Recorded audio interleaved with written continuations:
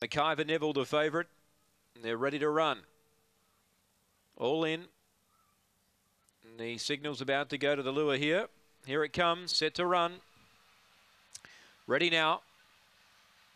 Set away. Now, McIver Neville, the favourite, third last early, and Lady Viximar charged out and ran to the lead. McIver Neville hooks very wide at the rear. Running to second, Colquhoun Nicky. Third placing, Cilla Brown. McIver Neville using plenty of the track, but he's winding up now. He gets to fourth, ran to third. Back in fifth, then Mikado. Around the outside, OK Ollie from Cryers Plugger and CJ's Heart. McIver Neville in one foul swoop, put them away. Race five lengths in clear of Colquhoun Nicky. Running on the inside, Cilla Brown. Wider out, Mikado. McIver Neville turned four in front. Colquhoun Nicky trying hard, but McIver Neville relishing the trip. Races away to win by six. Colquhoun Nicky second. Cryers Plugger in a photo with Cilla Brown.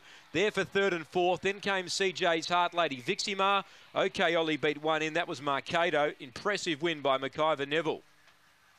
Number four, Peter Franklin gets the job done here. Number four will beat two, Colquhoun Nicky. And 35-31 the time. Just a photo for third. And that'll be through in a moment. But that was a solid win. Seven gets third, Cryers Plugger. Four, two, seven.